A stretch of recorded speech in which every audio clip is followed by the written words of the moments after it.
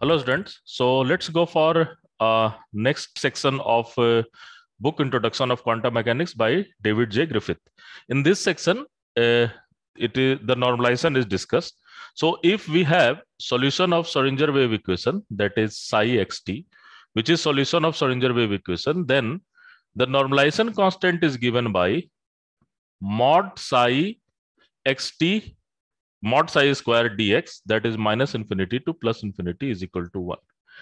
In this section, it is also discussed that psi must be square integrable. What is meaning of that? Obviously, if it is integrable, that it should be differentiable and uh, we have that psi must be continuous throughout all the region. But the most important thing is that that psi tends to 0 as x tends to infinity as well as x tends to minus infinity. So what will happen? The wave function must be vanish at plus infinity and minus infinity. The second part of, uh, of the book is given by the in this section is uh, given by that the total time derivative of the probability.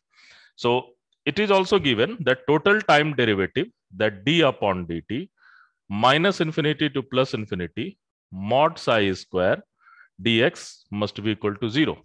So the total time derivative of total probability will be 0. So these two concepts are discussed into this particular section and let's go for uh, some problem based on this particular section. Thank you.